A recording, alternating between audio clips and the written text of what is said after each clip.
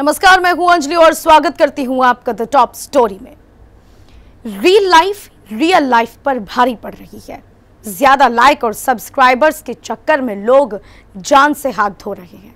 दुनिया भर से सामने आ रही तस्वीरें, ये साफ़, से साफ़ हो जाता है कि रील के चक्कर में लोग खतरनाक स्टंट कर रहे हैं, जो उनकी जान पर भारी पड़ रही है। अब आगरा में रील के चक्कर में एक लड़के की जान चली गई। उसका धड़ से, उसका सर अलग हो गया। तो आज हम द टॉप स्टोरी में बात करेंगे इसी घटना की रील और रियलिटी की।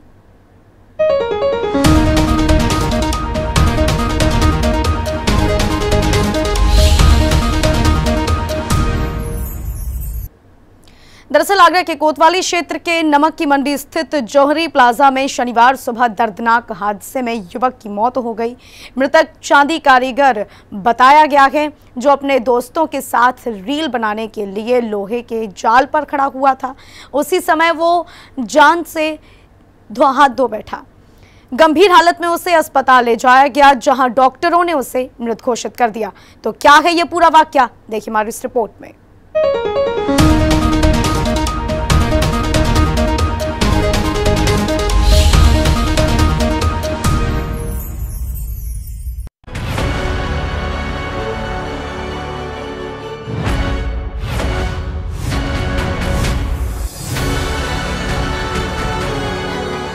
नमक की मंडी स्थित जोहरी प्लाजा में ताजगंज का रहने वाला 20 वर्षीय आसिफ पुत्र सलीम नौकरी करने के लिए आता था। वो यहाँ के कारखाने में चांदी के आभूषणों की कारीगरी करता था। बताया गया है कि वो कारखाने से बाहर दो दोस्तों के साथ लोहे के जाल पर पहुँचा। यहाँ पर वो स्लो मोशन में अपना वीडियो बना रहा था। आसिफ ने लोहे के जाल के एक हिस्से को ऊपर उठाया। तभी उसका बैलेंस बिगड़ गया और वो चौथी मंजिल से जाल के अंदर से निकलता हुआ नीचे जा गिरा। ये देख मौके पर मौजूद दोस्तों और अन्य लोगों के हाथ पाँव काँप गए। तत्काल ही आसिफ को उपचार के लिए निजी अस्पताल ले जाया गया, जहाँ चिकित्सकों ने उसे मृत घोषित कर दिया। आसिफ की मौत की खबर मिलते ही परिवार के लोगों में कोहरा मच गया। परिवार के लोग पुलिस को सूचना दिए बिना ही शव को लेकर चले गए। वही मौत का ये लाइव वीडियो अब सोशल मीडिया पर जमकर वायरल हो रहा है। सी न्यूज़ के लिए संदीप शर्मा की रिपोर्ट।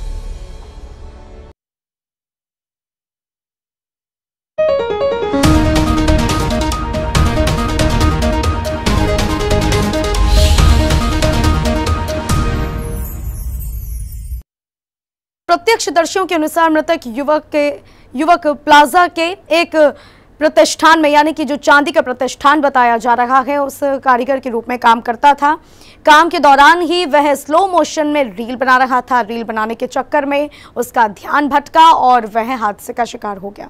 युवक रील बनाते समय प्लाजा में लगे, जाल को उठा रहा था कि अचानक संतुलन बिगड़ने से वह चौथी मंजिल से तीसरी मंजिल पर जा गिरा। इस दौरान जाल उसके ऊपर गिरा और उसकी गर्दन पर सीधा प्रहार हुआ, जिससे उसकी गर्दन धड़ से अलग हो गई और मौके पर ही उसकी दर्दनाक मौत हो गई। स्थानीय व्यापारियों और लोगों में इस घटना के प्रति काफ़ी भय और आक्रोश है। सराफा बाज़ार में दहशत का माहौल है और लोग युवक की मौत की, मौत को लेकर सदमे में है।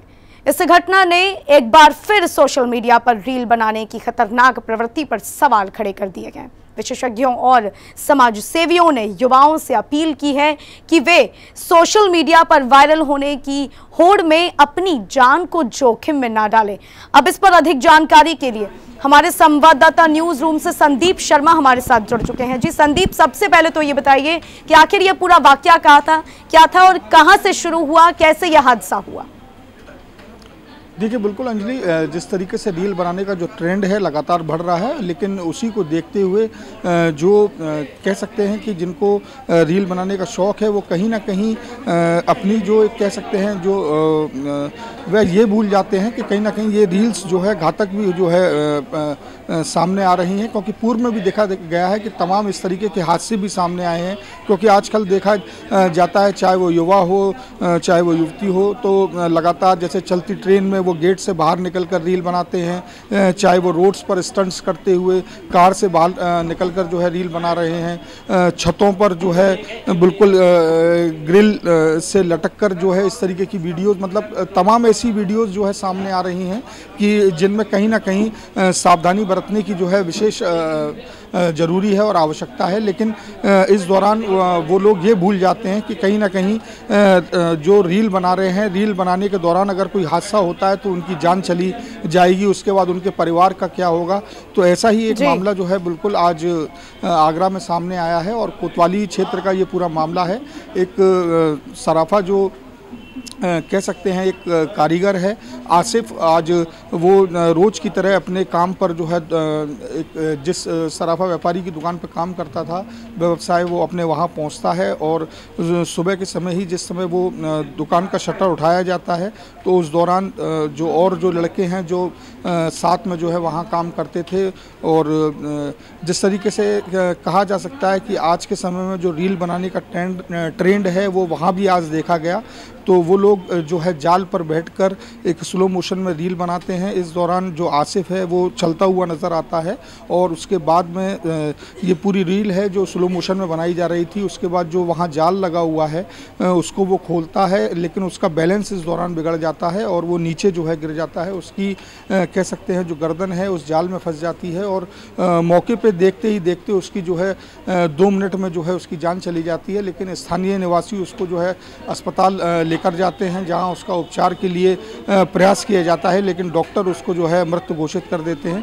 तो बिल्कुल कहा जा सकता है कि इस तरीके के जो जो कह सकते हैं, स्टंट्स हैं, चाहे वो रील बनाना हो तो कहीं ना कहीं सावधानी जो है लोगों को बरतनी होगी और इसको लेकर आगरा पुलिस की ओर से भी तमाम अभियान जो है चलाए गए संदीप जिस तरीके से आज आगरा में ये मामला सामने आया ये पहला कोई मामला नहीं था क्योंकि इस तरीके के वीडियोस कई ऐसे सामने आ चुके हैं और लोग थोड़े से लाइक और सब्सक्राइबर्स के चक्कर में अपनी जान को जोखिम में डालते हैं और साथ ही सड़कों पर स्टंट करते दिखाई भी देते हैं जहाँ पर अपने साथ साथ वो और लोगों की ज़िंदगी को भी खतरे में डाल देते हैं।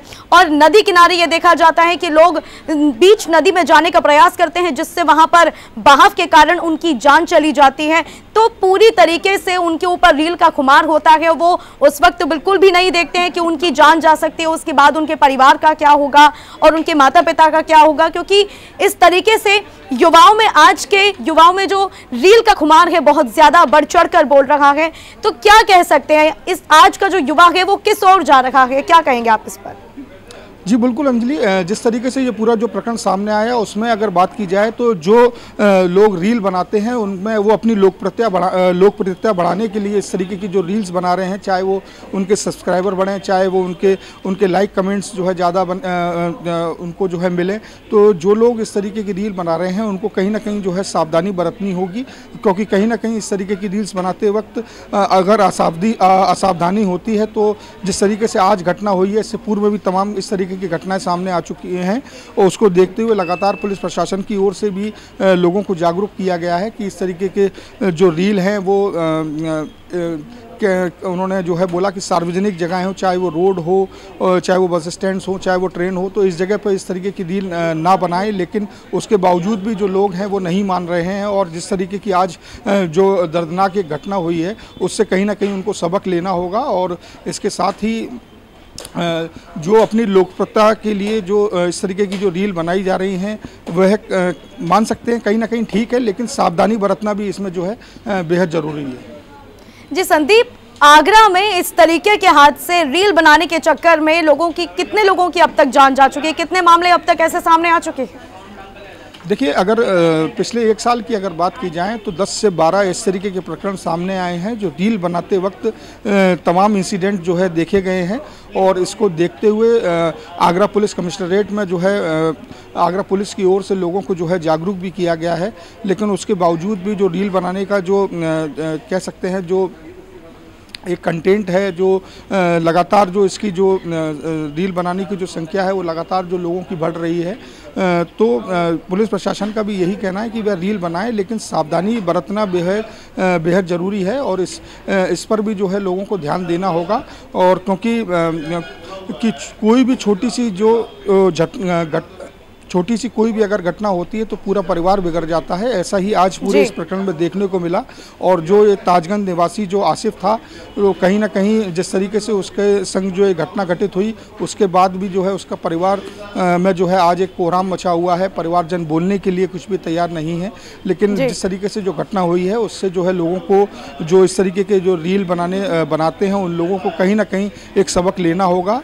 कि वह भी स्वयं सुरक्षित रहें और दूसरों को भी जो है इस तरीके की सुरक्षा दें कि इस तरीके के हादसों से जो है बचा जा सके। तो कहीं ना कहीं ये प्रण उन लोगों को लेने की ज़रूरत है।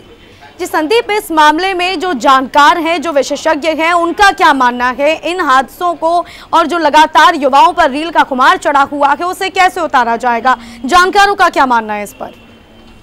देखिए जानकारों का ये कहना है कि ठीक है, देखिए, रील बनाना कोई गलत नहीं है, क्योंकि रील आदमी अपने चाहे कोई भी हो, जो लोग इस तरीके की रील्स बनाते हैं, वो फ़ेमस होने के लिए बनाते हैं, बिल्कुल जायज़ है, लेकिन सावधानी जो मेन चीज़ है, वो मेन पॉइंट है, सावधानी सावधानी नहीं बरती जाएगी तो कहीं ना कहीं कोई भी बड़ी घटना हो सकती है, और उस घटना में स्वयं व्यक्ति भी, जो रील बना रहा है, वो भी जो है, उसका शिकार हो सकता है और जो उस कह सकते हैं, जिस रास्ते पर या जिस जगह पर रील बनाई जा रही है वो अगर सार्वजनिक जगह है तो दूसरे को भी उस रील से बनाते वक्त कोई कोई घटना ना हो। इस पर जो है मेन जो पॉइंट है वो सावधानी है और इन सब चीज़ों का ध्यान रखना होगा। और जो बिल्कुल कहा जा सकता है कि जिस तरीके से जो विशेषक हैं उनका भी यही कहना है कि कोई भी काम इस तरीके का अगर किया जाए तो सावधानी बरतना जो है विशेष ज़रूरी है। जी, बिल्कुल संदीप, आपका बहुत बहुत धन्यवाद हमारे साथ चर्चा के लिए। तो बता दें कि नमक की मंडी स्थित जौहरी प्लाजा में ताजगंज का रहने वाला 20 वर्षीय आसिफ पुत्र सलीम नौकरी करने के लिए आता था। वो यहाँ के कारखाने में चांदी के आभूषणों की कारीगरी करता था। बताया गया है कि वो कारखाने में बाहर दोस्तों के साथ लोहे के जाल पर पहुँचा। यहाँ पर वो स्लो मोशन में अपना वीडियो बना रहा था। आसिफ के आसिफ ने लोहे के जाल के एक हिस्से को ऊपर की ओर उठाया। जिससे उसकी जान चली गई। ये देख मौके पर मौजूद दोस्तों और लोगों के हाथ पैर काँप गए और वो दहशत में आ गए हैं। तो लगातार जो युवाओं में ये रील का खुमार चढ़ा हुआ है, उससे लोगों की जान जा रही है और इससे कैसे रोका जाए ये विशेषज्ञों का इस पर कहना है कि रील ज़रूर बनाएँ, लेकिन आप अपनी जान को खतरे में ना डालें। अगर आप अपनी जान खतरे में डालते हैं तो आपके साथ साथ और लोग भी इस हादसे का शिकार हो सकते हैं। तो आपकी जान बहुत कीमती है, उसको रील के लिए व्यर्थ ना करें और अपना ख्याल रखें। तो आज फ़िलहाल द टॉप स्टोरी में इतना ही। मुझे दीजिए इजाज़त। नमस्कार।